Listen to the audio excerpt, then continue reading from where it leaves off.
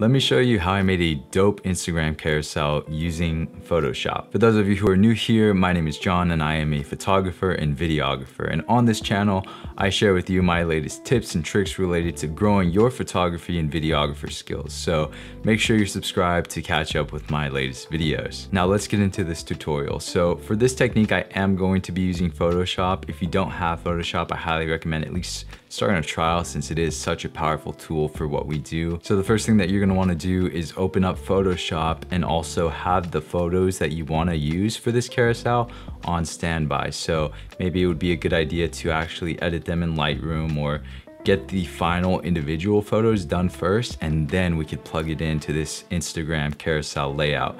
But we have it open. We're gonna go ahead and move over to create new. Now for this, I'm gonna go ahead and just click 4x5 at 300 ppi.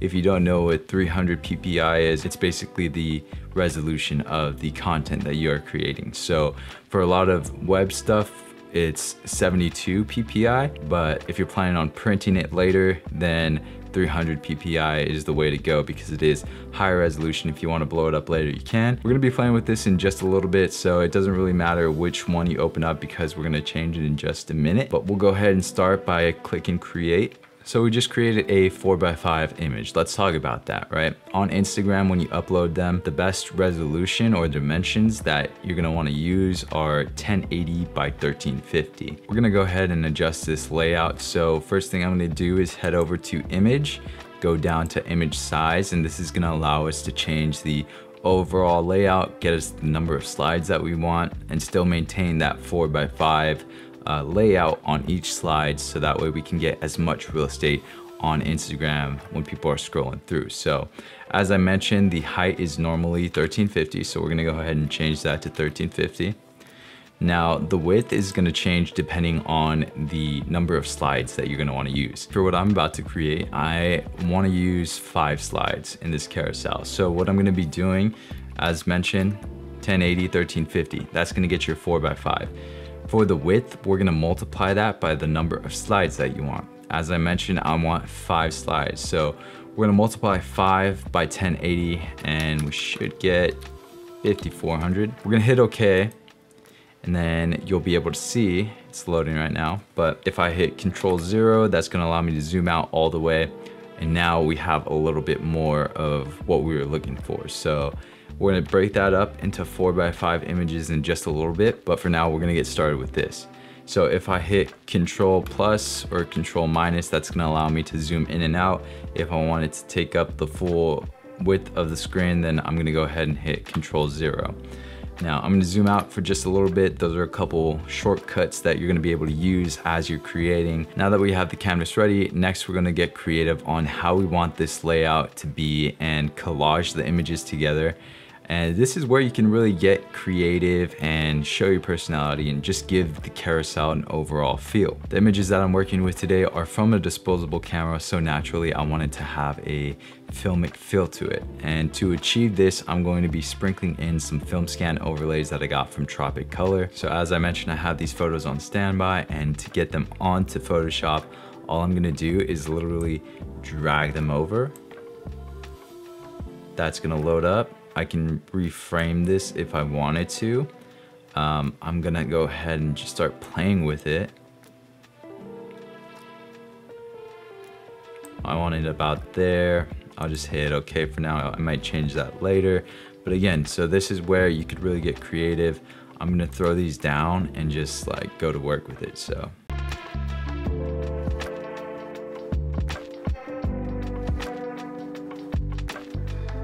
I realized that I don't have enough photos for five carousels. So what I'm gonna do, it's super easy, as mentioned before, we're just gonna go over to image size, and this width number, instead of doing 1080 times 5, we're going to do 1080 times 4. And when we multiply 1080 times 4, we'll get 4320.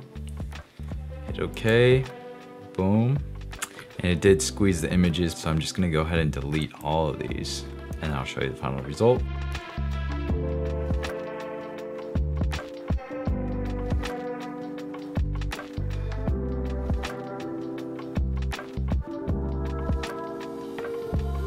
So now I have a decent layout and I'm gonna go ahead and add those overlays that I mentioned to really add that filmic feel to it.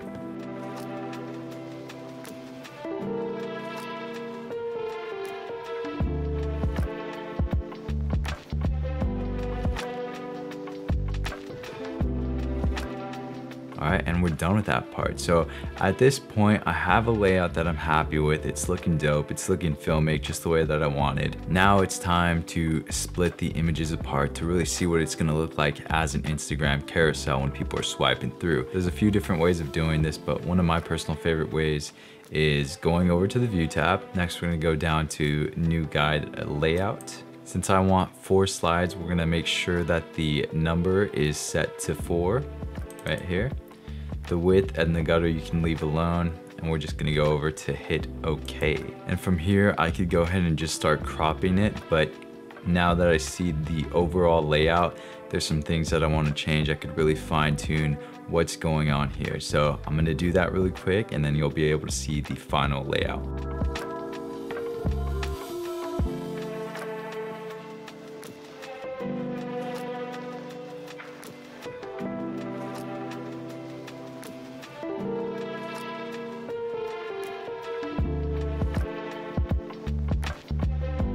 All right, so those guidelines obviously help a lot. I was able to really figure out and dial in those images to keep the viewer interested, I guess you could say. I, I know what it's gonna look like when they're swiping through and I'm able to kind of do half images on the slides as you can see here, right? And this is what's really gonna keep that viewer interested in swiping through and seeing what else is next. We are at the final part now, so we're gonna go ahead and move over to this crop tool hold that down and there you'll be able to find the slice tool. Click on that and there's a magical little button labeled slices from guides. Now this thing is great. You're gonna go ahead and click on it.